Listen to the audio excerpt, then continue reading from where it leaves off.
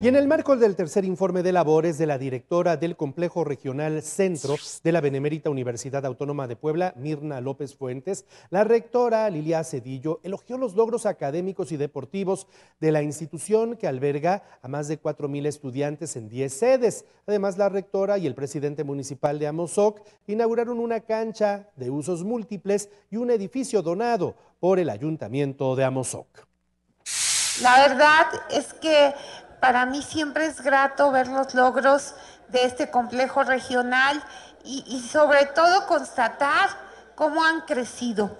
Reiterarles mi apoyo, mi compromiso, mi cariño y mi agradecimiento a todo el complejo regional centro. ¡Que viva este complejo!